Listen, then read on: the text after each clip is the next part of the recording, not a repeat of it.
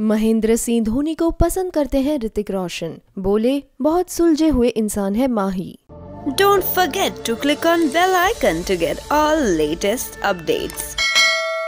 ऋतिक रोशन की film super thirty 12 जुलाई को release होने जा रही है। इन दिनों वो फ़िल्म के प्रमोशन से जुड़े हुए हैं। ऋतिक स्टार स्पोर्ट्स के क्रिकेट लाइव में पहुँचे।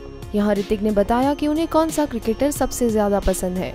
ऋतिक ने कहा, मैं और मेरी माँ, हम दोनों महेंद्र सिंह धोनी को काफ़ी पसंद करते हैं। मुझे लगता है कि वो बहुत अच्छे शिक्षक हैं। वो एक महान विचारक है। मेरी माँ बहुत खुश होगी कि मैंने उनका नाम लिया। मुझे लगता है कि वो बहुत ही इंस्पायरिंग और सुलझे हुए एक प्लानर है। बता दें कि रविवार को भारत इंग्लैंड के बीच वर्ल्ड कप का मैच था। इस मैच में भारत को हार का सामना करना पड़ा था।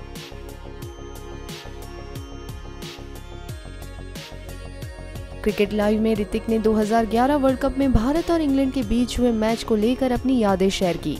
ऋतिक ने कहा, मुझे याद है कि मैंने स्टेडियम में मैच देखने का प्लान बनाया था, लेकिन लास्ट मिनट पर कुछ काम आ गया था और इसी वजह से मैं मैच देखने नहीं जा सका।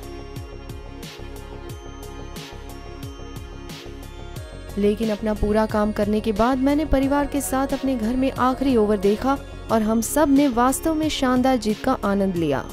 बता दें कि ऋतिक रोशन की फ़िल्म सुपर थर्टी बिहार के मैथमेटिशियन आनंद कुमार के जीवन पर आधारित है।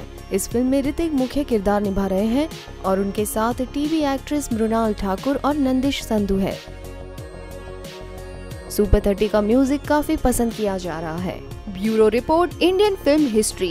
For more interesting and updated Bollywood news please subscribe Indian film history YouTube channel